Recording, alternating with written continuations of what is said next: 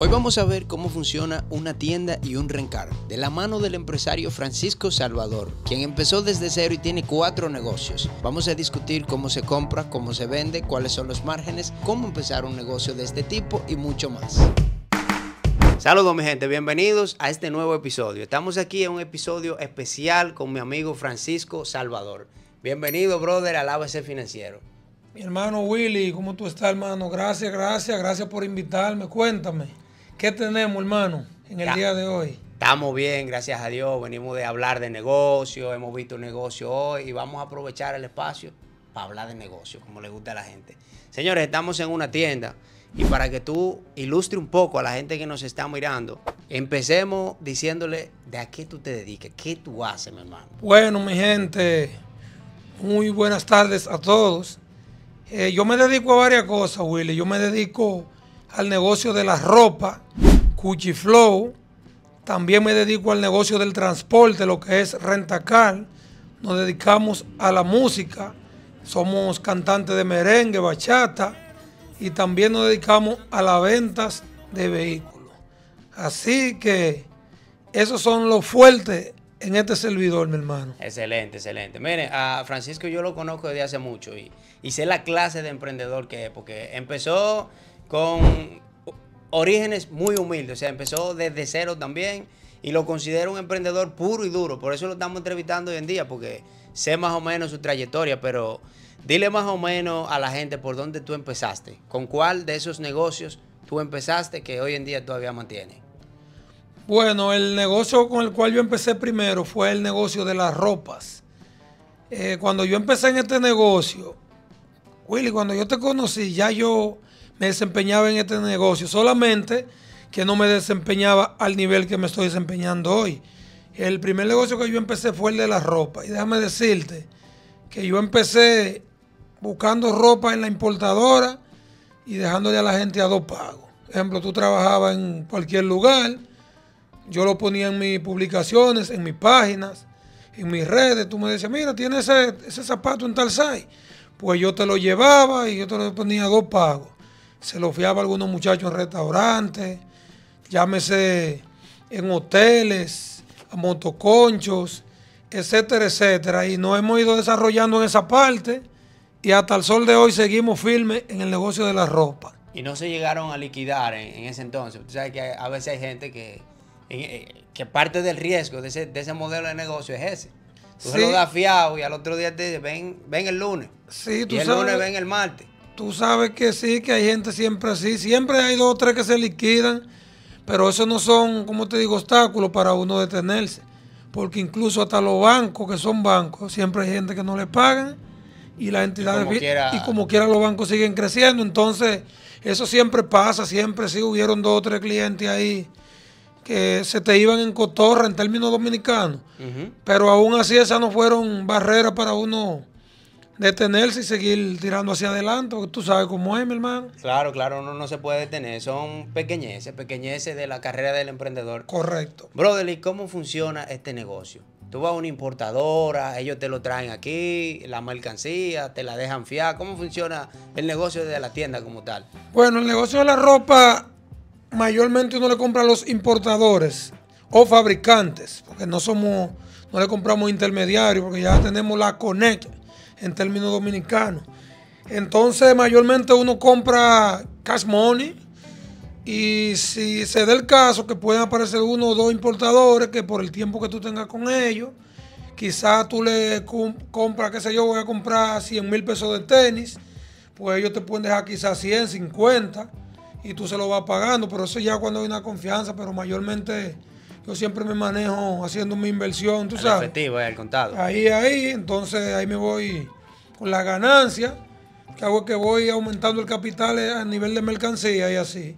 Pero sí aparecen siempre dos o tres que, que confían en ti y siempre esa gente hay que estarle quedando bien para uno no derrocarse. Claro, claro, esas son las mejores relaciones cuando uno la construye a base de confianza y tiene buenos proveedores también. ¿Y cómo se, cómo se construyen esa Connect, como tú le llamaste en ese momento? ¿Cómo uno consigue la Connect? Una persona que quiera emprender, por ejemplo, en, en la industria de la ropa, de la tienda, ¿cómo uno establece relaciones así con los importadores? Bueno, esas relaciones se establecen a través de los grupos.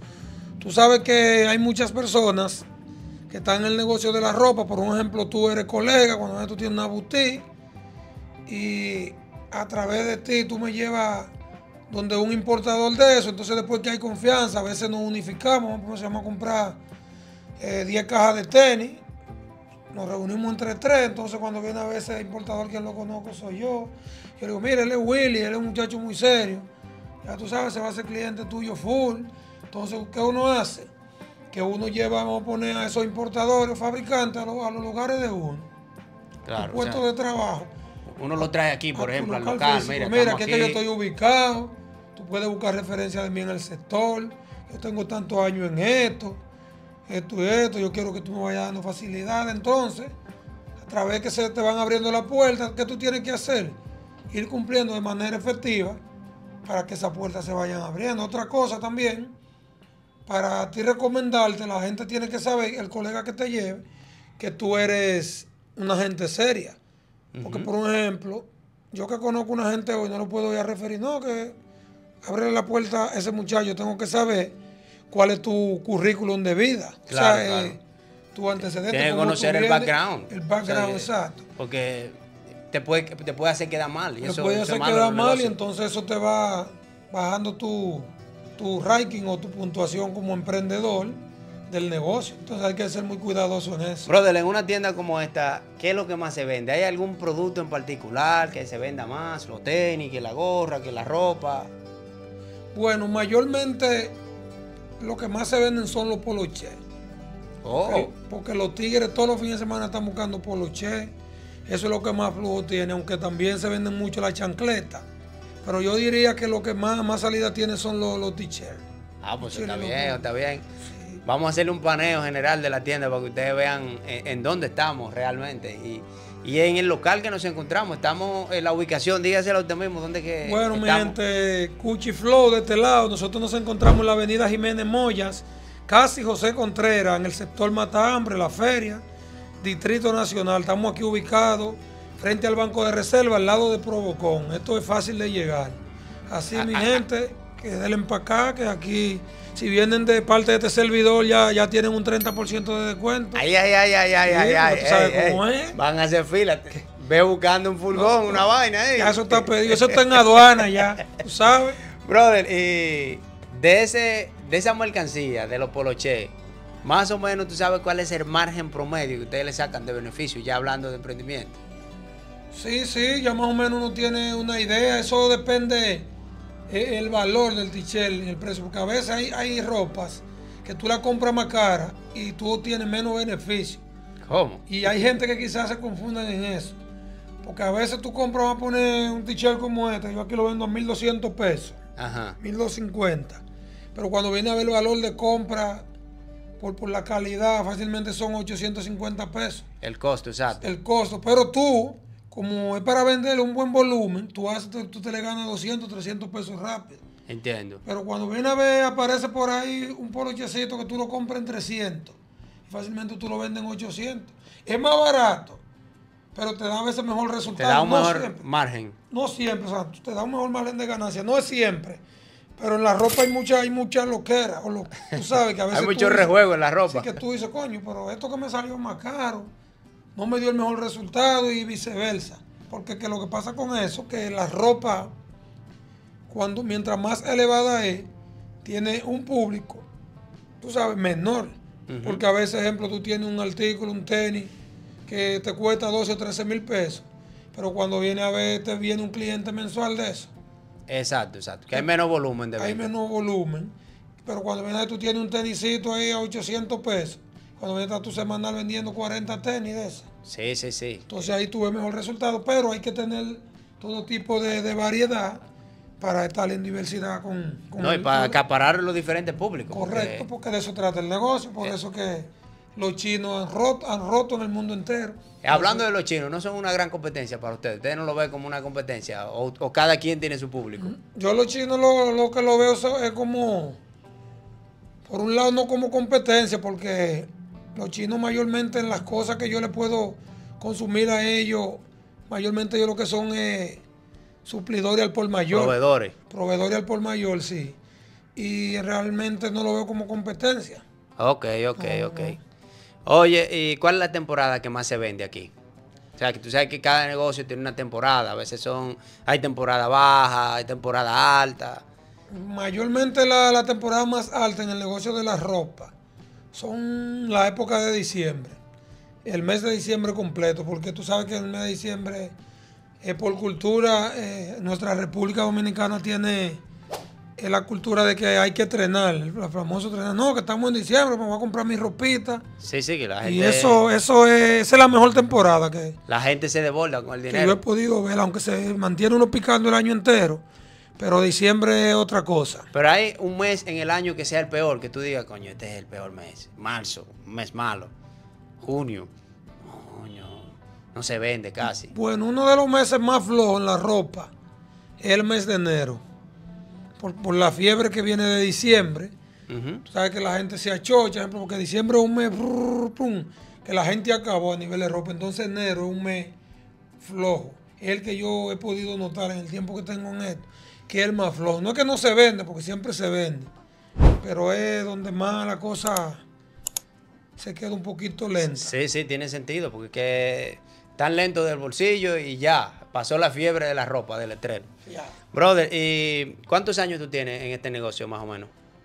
Bueno, yo en el negocio de la ropa tengo alrededor de como de nueve años. Pero tú eres un máster, ya tú puedes dar clase de eso, de cómo, de cómo lidiar con la ropa, de cómo bregar con todo esto. Sí, en términos general, yo empecé con el negocio de la ropa como, como alrededor del 2013 por ahí. 13 o 14. Pero recuerda que yo empecé, como te dije, de, manera así, que busco mi tenis allí, que te lo doy a dos pagos y eso. Ya ejemplo a nivel ya con mi local y eso. Yo tengo alrededor como de unos cuatro años.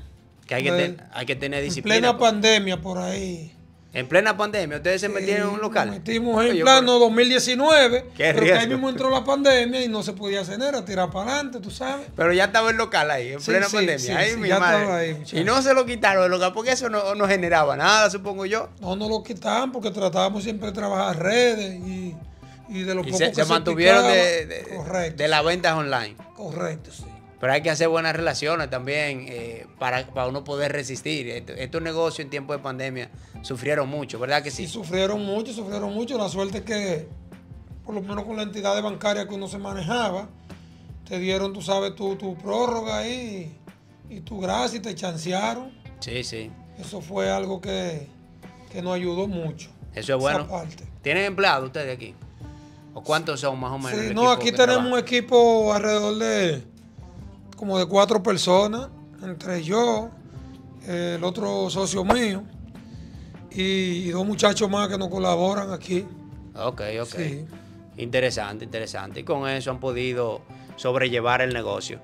Brother, hablemos de la experiencia con las entidades bancarias, que a veces el emprendedor no tiene mucha eh, oportunidad de acercársele a los bancos con respecto al crédito. ¿Qué tú opinas de eso? ¿Tú crees que es necesario hacer negocio con los bancos para poder crecer los negocios o no? Sí, sí, yo lo veo muy, como te digo, lo veo, eh, el asunto de los bancos es una manera muy positiva del, del emprendedor avanzar porque a través del banco tú te puedes, como te digo, capitalizar cualquier negocio. Ahora, cuando el banco te da la facilidad, tú tienes que saber en qué tú vas a invertir tu dinero. Para que eso te pueda dar un resultado, porque a veces el banco te da un dinero y hay gente que creen que ese dinero no se va a pagar. Entonces yo voy ahora mismo al banco y busco dos millones de pesos. Yo tengo ya que tener un negocio en mi mente que me vaya a generar con qué yo pagar y a la vez irme capitalizando. Y mayormente yo creo que si uno no tuviera la facilidad de los bancos a uno se le dificultara más avanzar porque no todos tienen un padre y una madre que te puede decir, bueno, mi hijo, que tú arrancas un negocio, mira, ahí hay 5 millones de pesos. O un respaldo ahí. O mira ahí, o un respaldo familiar. Eh, no, que tú una familia muy organizada, como sabemos ya que tú no, no desarrollaste lo que tú quieres, sabemos que tú eres un muchacho serio, de buenos valores, visionario, luchador, emprendedor. Eh, decidimos darte dos millones de pesos para que tú arranques, etcétera, etcétera Entonces yo lo veo, los bancos, yo lo veo como un soporte muy importante para lo que es el emprendimiento. Entonces, líder, una pregunta, la clientela suya, ¿cómo ustedes la consiguen normalmente? ¿Por las redes sociales? ¿Ponen anuncios? ¿Publicidad? ¿Cómo funciona eso? Eh, la clientela la se consiguen por las dos vías. Sabes que esta es una avenida muy transitada, ¿verdad? Exacto, muy transitada por, por el peatón. Porque por aquí hay diferentes empresas y la gente pasa siempre y va mirando y también hacemos eh, publicidad en las redes y los clientes van llegando a través de, esa vía y también físicamente y entonces los clientes se van quedando por el trato que uno le va dando, ¿tú sabes? Y, viceversa. ¿Y ponen oferta ustedes? ¿Tienen algún día especial de oferta? Siempre, siempre. Casi todas las semanas pongo yo oferta aquí. Bueno, pues ya ustedes saben, señores, las redes sociales, repítasela para que sepan. Bueno, en las redes sociales nos pueden seguirle arroba cuchiflow. Eh, ya ustedes saben, esas son nuestras páginas a nivel de Instagram y Facebook. Arroba cuchiflow para la ropa. Si en la rentacal, nos pueden seguir como Buena Vibra Rentacal, tanto en Facebook como en Instagram. Y en lo artístico, arroba el cuchi, el cuchi oficial tanto en Facebook como en Instagram. Genial. Yo le voy a poner ahí los enlaces, los diferentes enlaces de la página del Cuchi Flow para que ustedes vayan directamente allá y le den no solamente sus respectivos likes, que por lo menos hagan sus cotizaciones con él. Claro, claro. Líder, eh, antes de pasar a los rent car, que quiero redundar un poquito ahí para que la gente sepa, los emprendedores que no ven cómo se mueve ese mundo. A mí me gustaría saber el background suyo, si usted fue a la universidad, si no fue, y ese tipo de cosas, porque hay, hay muchos emprendedores que están limitados, que creen que para ir a la, o sea, que para hacerse rico o para ser un empresario exitoso, hay que ser un gran profesional o algo así por el estilo. Vamos a desmentir eso aquí. Eh, bueno, eh, yo sí soy estudiante, de, estudié, empecé la universidad estudiando mercadeo, no la he terminado la carrera, pero todavía no me he graduado de la universidad. Pero eh, a eso le he agregado muchísimos cursos, los cuales me han llevado, usted sabe, a un gran conocimiento de lo que son los negocios y la misma vida. Sí, en lo que me especialicé, bueno, que fue con usted, creo que ahí fue que nos conocimos, que la actuación. Acuérdese que ahí fue que usted y yo tuvimos la oportunidad de conocerlo. Este hombre es actor también, que eso fue algo que se le pasó decirlo a él, pero él es actor. Sí, sí. Entonces esa, esa, es, esa fue prácticamente donde me especialicé como actor. Pero ya en la, en la. Yo creo que para una gente ser exitoso en la vida no necesariamente eh, los negocios, no necesariamente hay que terminar una carrera universitaria. Porque la palabra profesional, la gente no entiende lo que es profesional. Profesional es eh, hacer el trabajo profesional a lo que tú te dedicas. Sí, sí. ¿Tú me entiendes? Ahora, ¿qué existe? Que la gente confunde mucho profesional con título universitario un título te acredita un derecho. ¿Tú me entiendes? Claro. De una carrera. Para que tú la ejerces esa carrera, pero eso no te garantiza a ti que tú vayas a ser exitoso o no. Entonces la gente te dice, pero tú eres profesional. Pero ellos creen que, ejemplo, nada más profesional es quien adquiere un título universitario.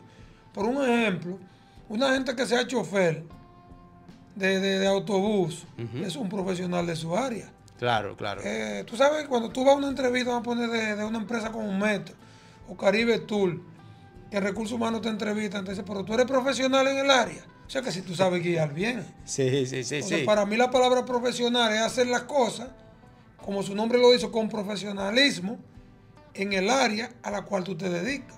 Si yo traigo ahora mismo aquí a una persona para que me le dé mantenimiento a ese aire o me instale un aire, que lo primero que yo le pregunta, pero tú eres un profesional de la materia. Entonces, si esa persona trabaja las instalaciones de aire bien, eh, él es un profesional de esa área. Claro.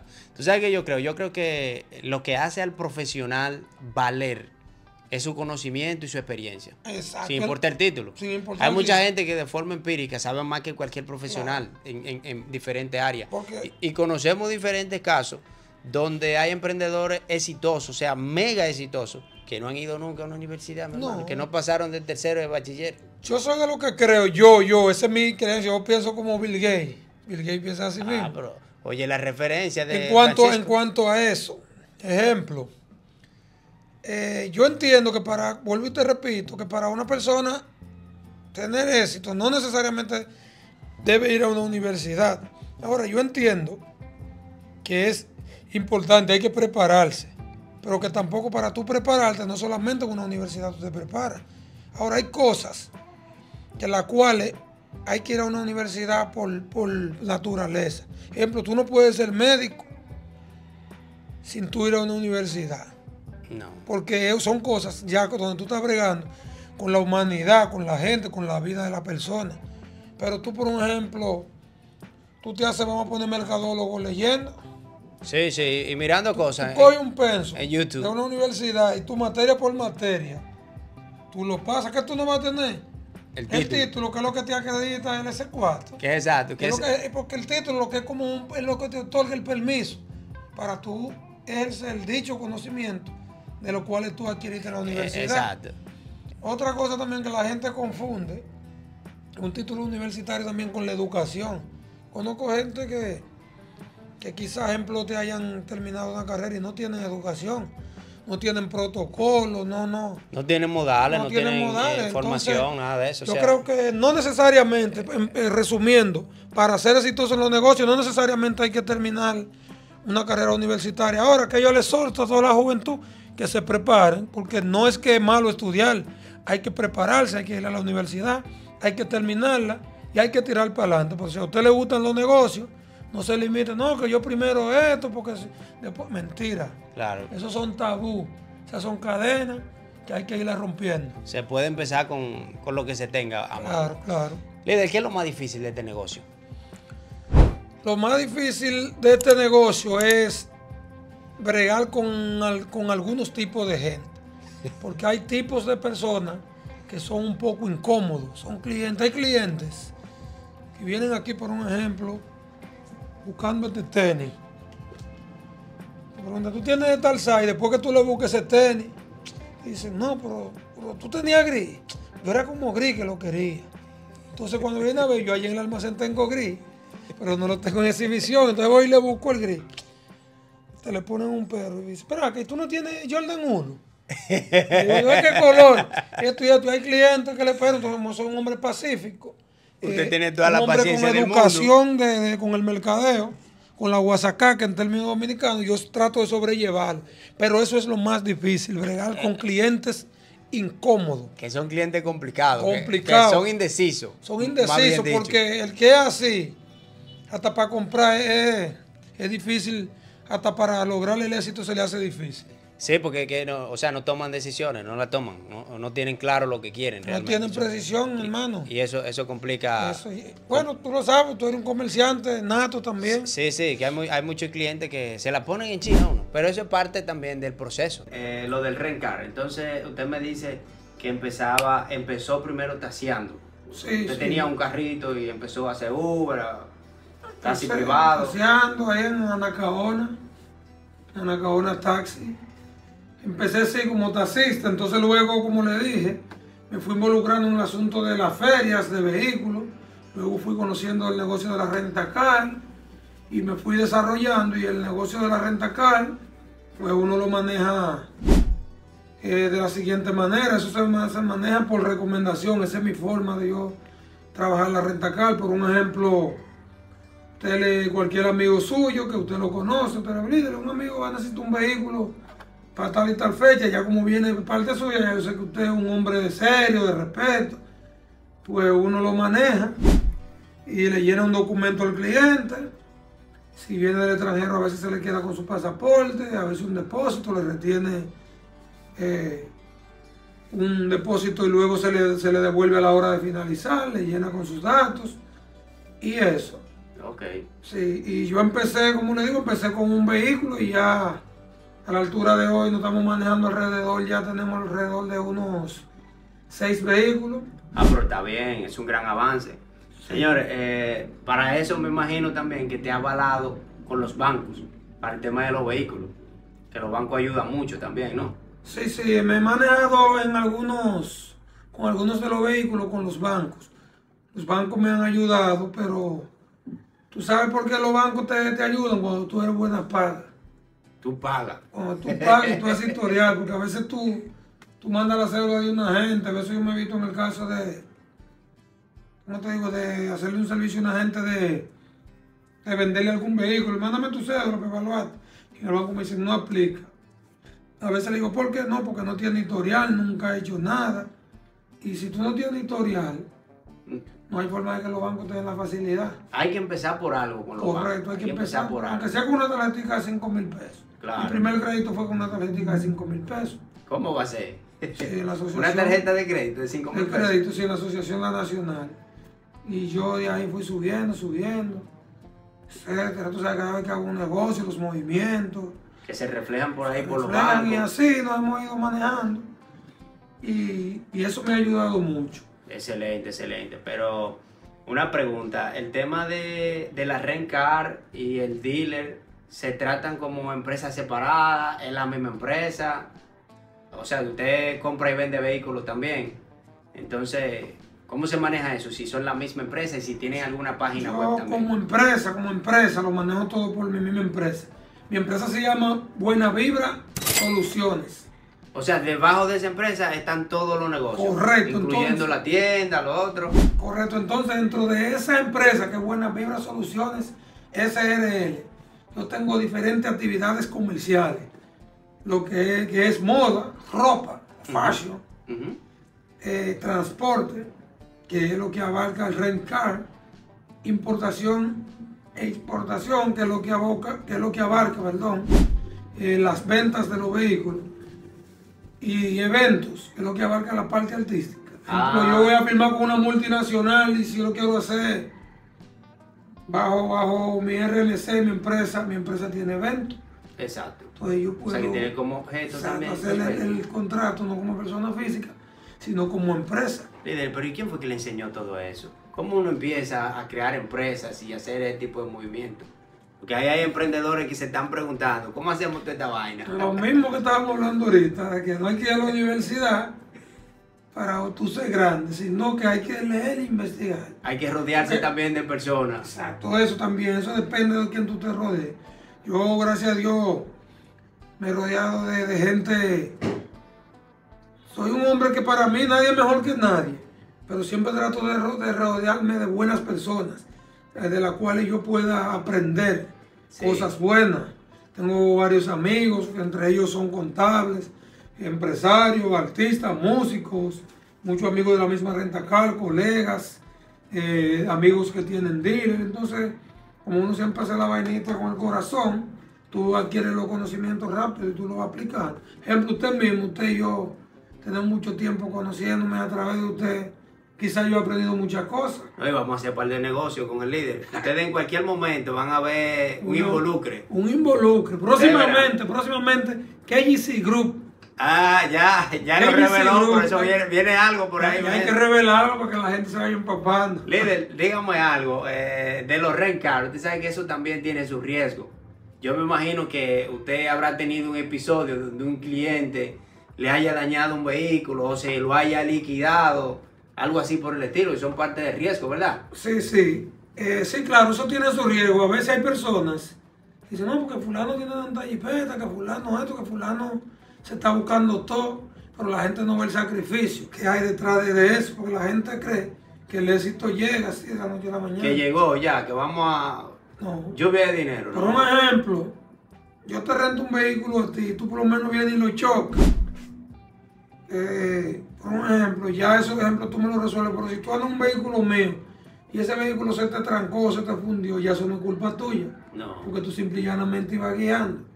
También he tenido malas experiencias con clientes malas pagas. Eso es la renta car también.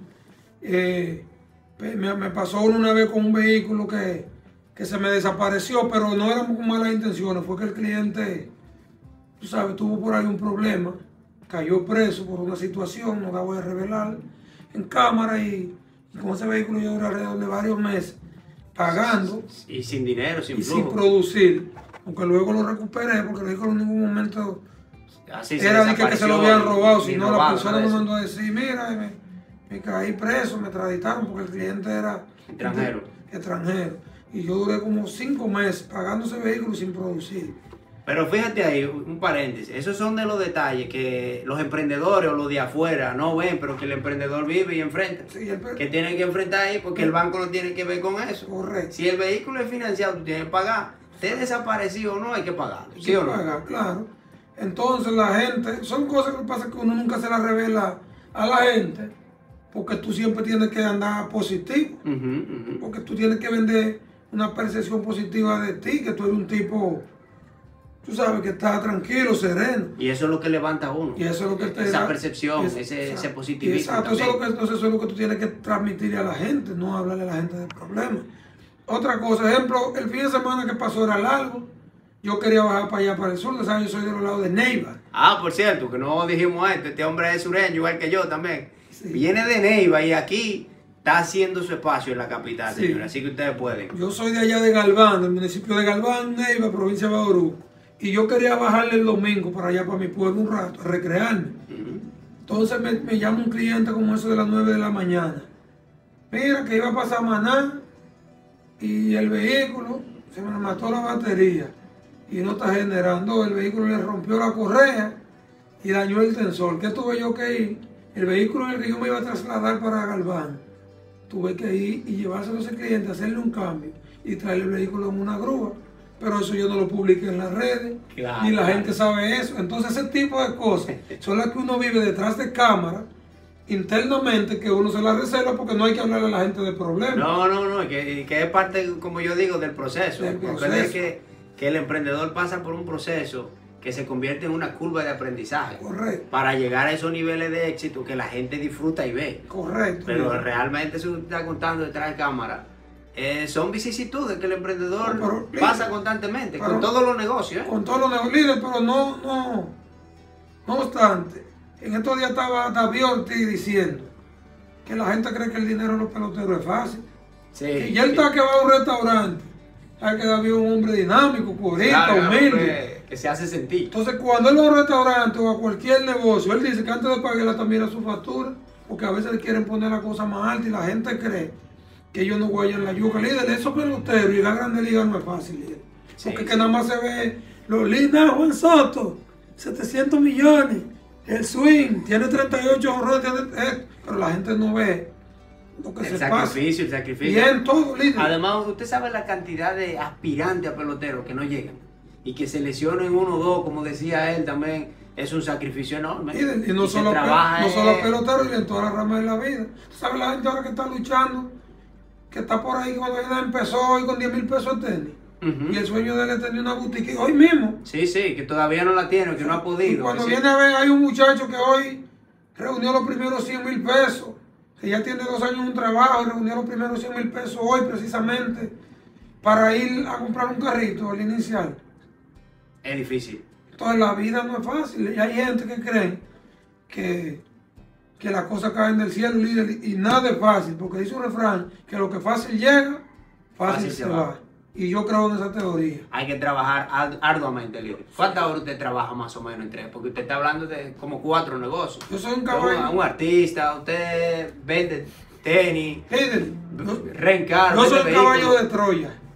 Yo llego aquí, el horario establecido aquí es de 9 de la mañana a 7 de la noche. Pero yo siempre me quedo aquí organizando. A veces hay clientes que me van a entrar un vehículo a las 10 de la noche. Yo tengo que esperarlo y eso es trabajo. A veces yo tengo que ir a recoger un cliente al aeropuerto a las 2 de la mañana, ya eso es trabajo. A veces un cliente se va de madrugada y dentro del, del- de lo establecido, uno a veces lo recoge en el aeropuerto y también lo deja. Y el cliente se va a las 2 de la mañana, si yo a creer el servicio, yo tengo que irlo a llevar. Pero cuando vengo a recoger el cliente, ya son las 3. Cuando viene a ver, viene uno, coge un café, se pone a ver una serie de Netflix. Y cuando viene a ver, ya tú no duermes. Se fue el día. Entonces yo digo noche. que yo soy independiente, pero no, no te puedo decir que tengo un horario, porque yo soy mi propio jefe. Claro, Si yo digo que hoy no voy a trabajar, se paralizó todo. o sea, no se va a paralizar porque hay un equipo de trabajo. Pero, Pero, si eh, yo digo, bueno, voy- voy- me voy por un risolete, o sea, no dependo de nadie, pero tampoco me limito a los días de fiesta, a que no, que yo mi horario establecido de tal hora a tal hora, porque yo doy un servicio. Por eso yo dije al principio que tú eres un emprendedor puro y duro, líder. Así lo bautizo yo, porque no todo el mundo está dispuesto a sacrificar esas gratificaciones momentáneas, que son gratificaciones. Eso de ir a una fiesta o lo que usted iba a hacer allá, por ejemplo, en Neve el domingo pasado, es algo que está ahí y que vuelve y se repite. Pero ese cliente no, a lo mejor. El cliente que usted fue a en auxilio. Además, el negocio que usted está construyendo es para en un futuro. Usted, usted hace todo esos lujos que usted quiera también. Por un ejemplo, si yo me hubiese ido para, para el pueblo el sábado y ese cliente me había llamado el domingo, yo, yo quizá iba a resolver, pero no iba a ser con la misma eficiencia, porque yo, uno como dueño, siempre tiene los trucos. Entonces, al ese cliente ve que yo lo voy a rescatar, un cliente incluso que vino de, de, Europa, ¿qué tú crees que él va a decir de mí cuando llegue allá? Excelente servicio, se lo va a recomendar a otro. Entonces, esto es como le dije yo en una entrevista en estos días a un entrevistador, que la vida en los negocios como los trinitarios que se va comunicando la cosa de tres entre positivamente. O sea que lo que yo haga bien, se va a ir allá donde fulano, que ese muchacho resuelve. Y esa es la vuelta. Sí, sí, y usted lo dijo ya, que es un negocio que trata de recomendación recomendación. Y para que el boca en boca funcione, debe ser así. Con el buen servicio. El servicio al cliente debe ser uno A. Y yo sé, yo sé que usted lo hace bien, porque usted en algún momento me rentó un vehículo a mí. Yo, yo sé cómo usted trabaja más o menos. Ah, sí, sí, Ya vamos a finalizar la entrevista. Dele algún consejo a los emprendedores que nos están mirando, que quieran emprender en cualquiera de las áreas que usted está. ¿Cuáles son esas claves que deben mantener en cuenta? Bueno, yo le recomendaría a cualquier muchacho joven que quiera tirar para adelante, ya sea en la ropa, sea en el rentacar, en, cualquier emprendimiento, para no decirle específicamente lo que yo, a lo que yo me dedico. O sea, no tiene que ser eh, necesariamente en esa área. Yo le recomiendo a cualquier joven que lo primero que usted tiene que hacer es confiar en Dios, poner la cosa en manos de Dios, creer en usted, eh, no se ponga límite, eh, haga lo que a usted le gusta de corazón. Si usted quiere ser un buen ingeniero, bueno, las la universidades están ahí. Usted dice, ah, bueno, yo no, quiero ir para, para, una universidad pública, ejemplo. Bueno, pues póngase a trabajar y estudie en la noche y nunca se ponga, por ejemplo, barrera no, que eso está muy difícil, porque el límite es el cielo. Y ya últimamente ni el cielo es el límite, porque ya los tigres están yendo a la NASA. Así que, positivo. Y tiren para adelante, crean en ustedes. Busquen los métodos, toquen puertas. Si una puerta se te cierra, ve, toca otra. Que algún día va a aparecer alguien que va a creer en ti. Y aunque no te lo dé todo el 100%, por lo menos te va a aportar aunque sea un 10% y te va a dar un empujoncito. Y la misma vida te va enseñando cómo tú tienes que hacerlo. Hay que ser humilde, hay que ser responsable, hay que ser respetuoso, educado.